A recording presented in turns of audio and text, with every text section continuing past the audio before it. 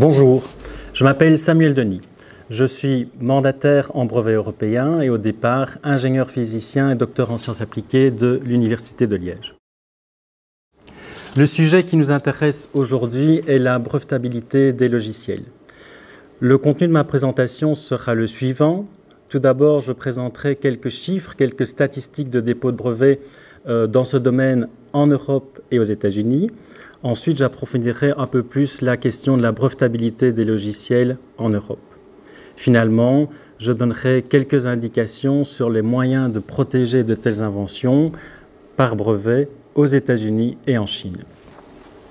Quelques statistiques donc. En Europe, en 2016, il y a eu environ 160 000 demandes de brevets européens. Il est intéressant de voir comment, dans quel domaine technique ces demandes de brevets sont déposées.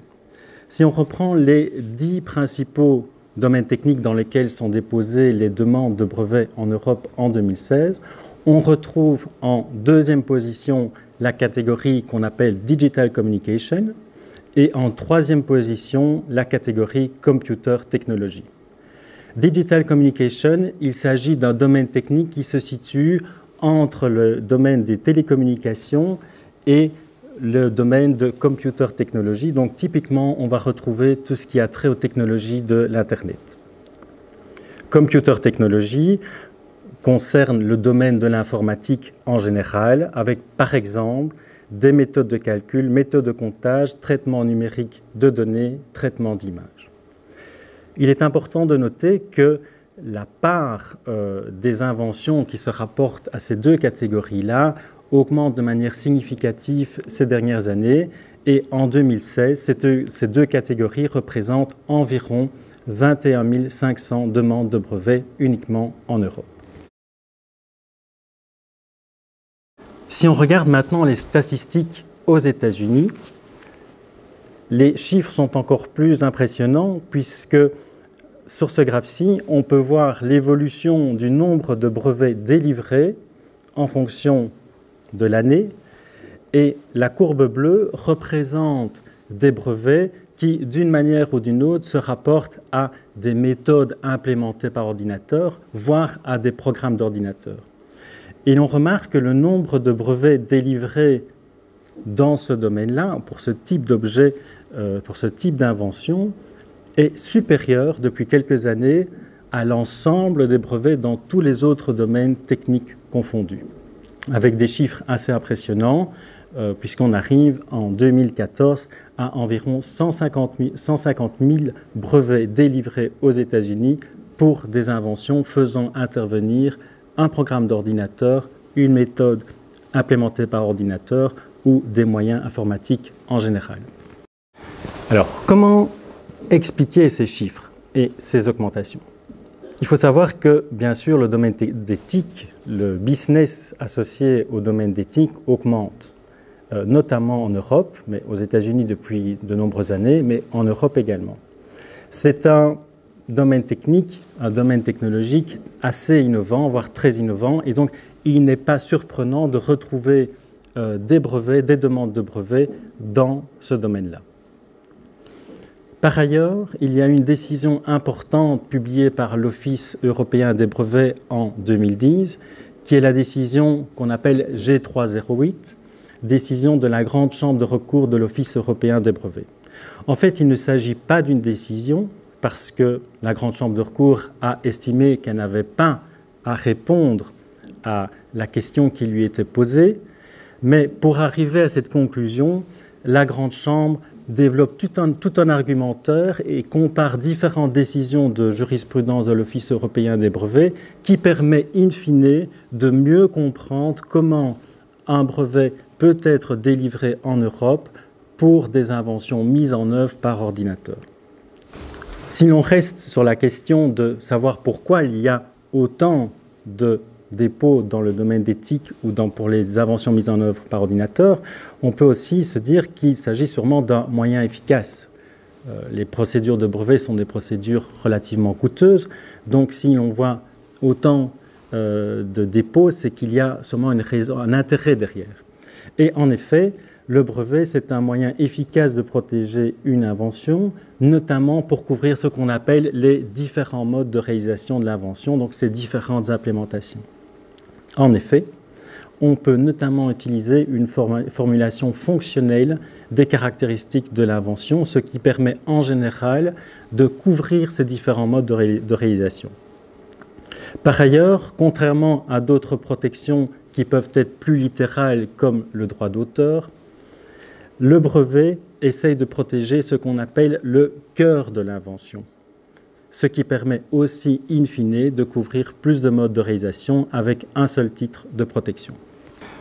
Passons maintenant à la question de fond de brevetabilité des logiciels en Europe.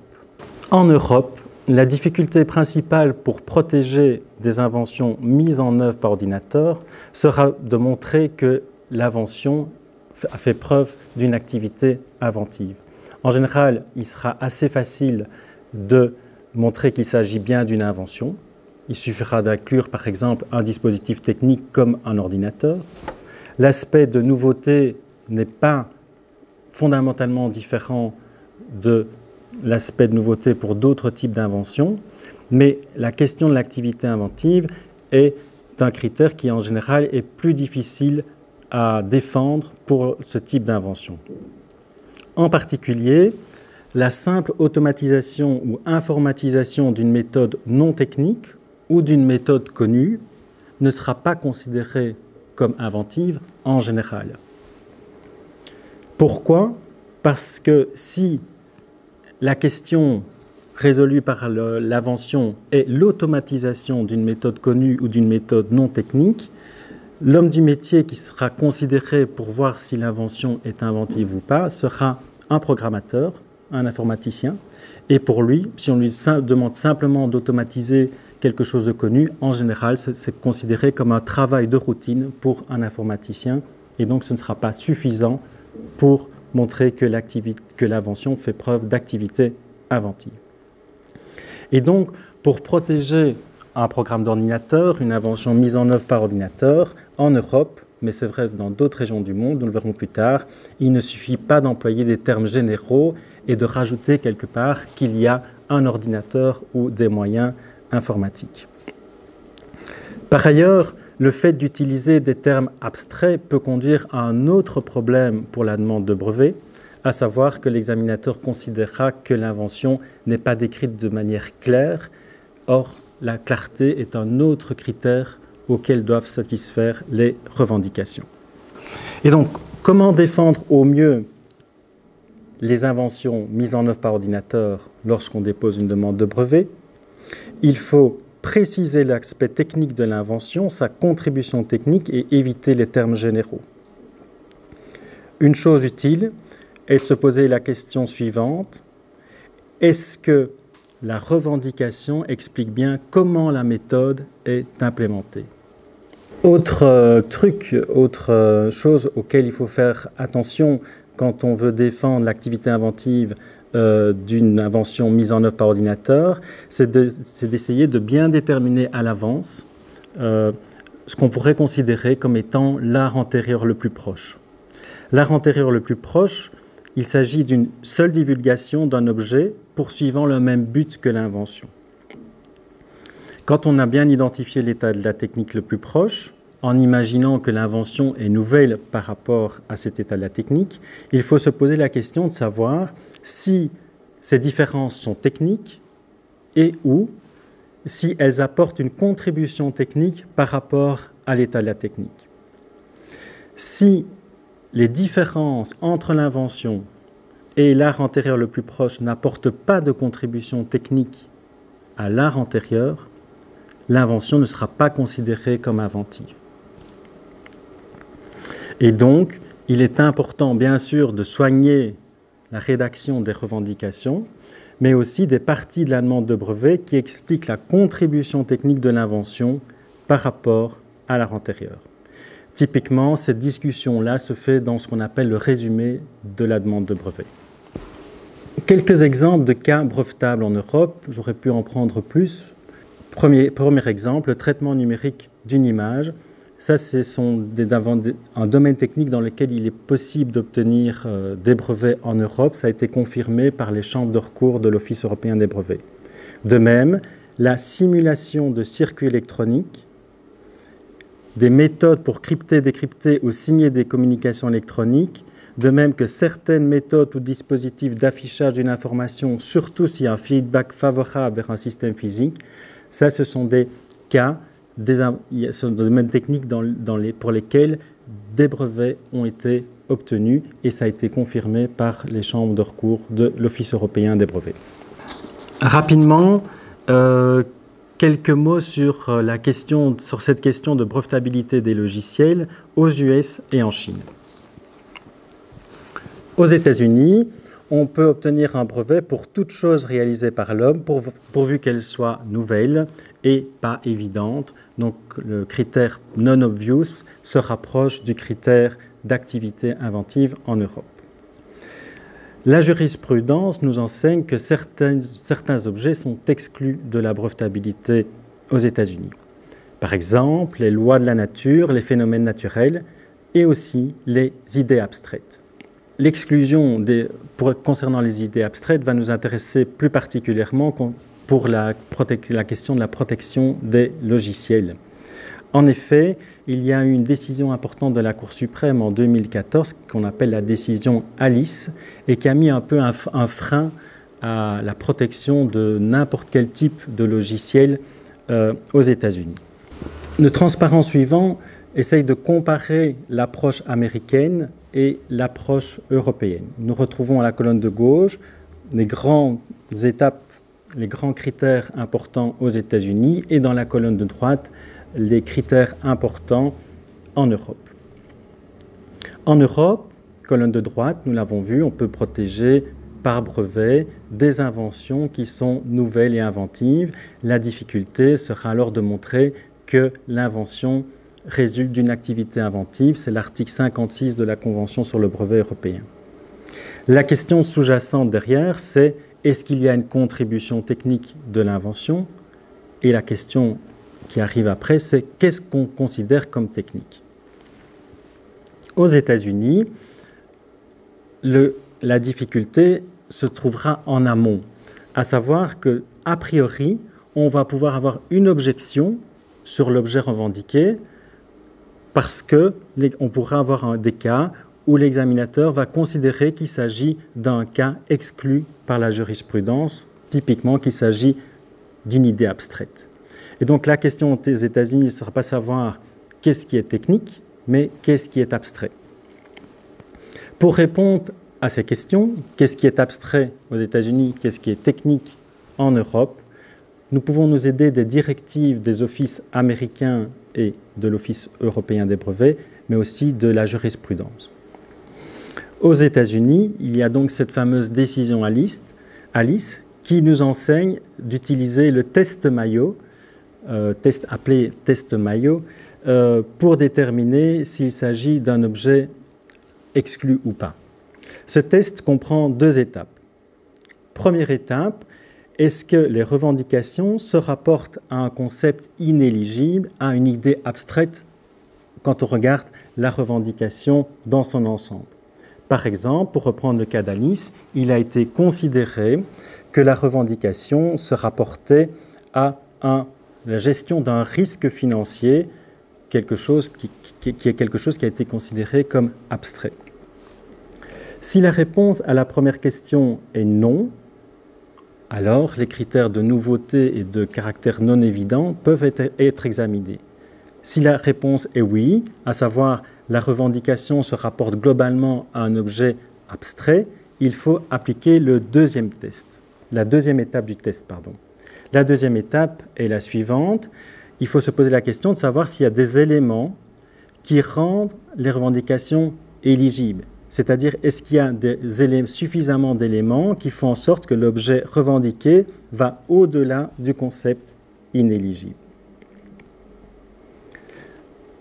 Si la réponse est non, l'objet ne sera pas examiné sur l'aspect de nouveauté d'activité inventive. On va considérer qu'il s'agit d'un objet abstrait et donc pas protégeable par brevet.